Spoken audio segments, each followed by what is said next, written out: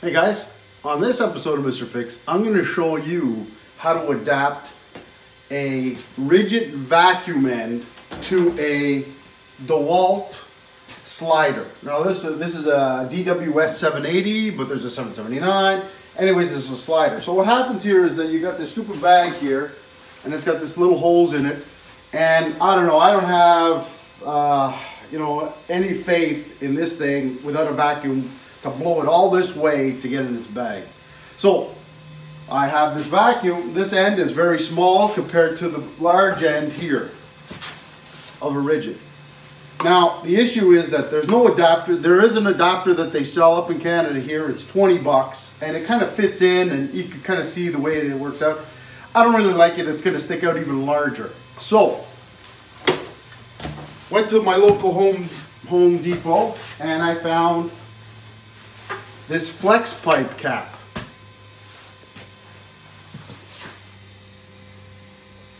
Six dollars Canadian. So it's two inch. Well, guess what? Fits just right on these things. Well, this is gonna work out really well.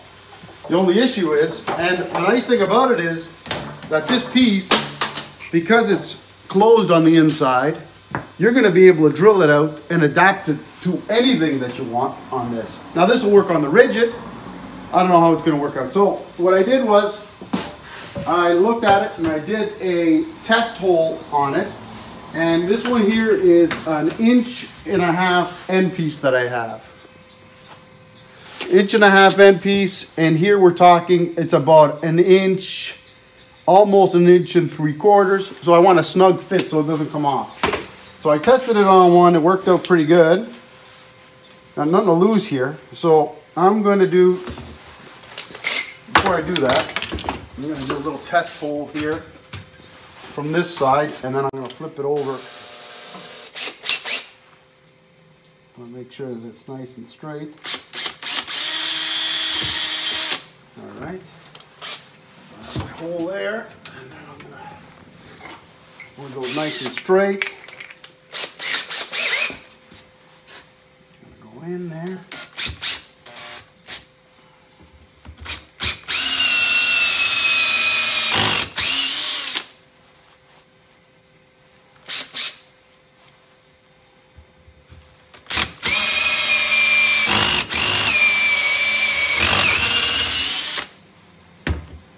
All right.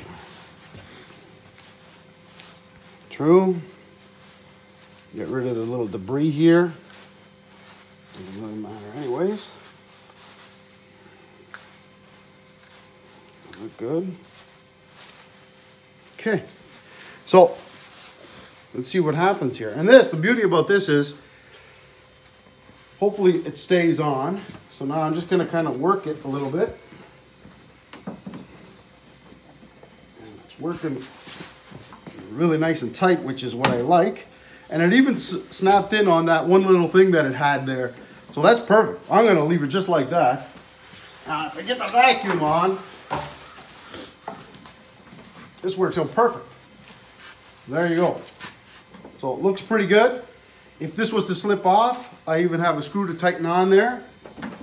Seems really well. And the beauty about this is, I don't like this, you can still use this bag, still use it. Maybe you, if you want to push it a little bit more in the back or whatever, that's, that's fine. But the beauty about this is I much prefer the Ridgid bag that I have because it goes down versus sticking out even this much more. And if I did this correctly, boom.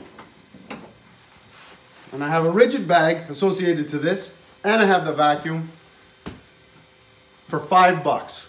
5.90 something Canadian. I'm sure in the States it's even cheaper. So this will be able to adapt, quick change, and you still are able to use the DeWalt bag if you want, but uh, I think uh, I think this will work out a lot better. All right, thanks for watching.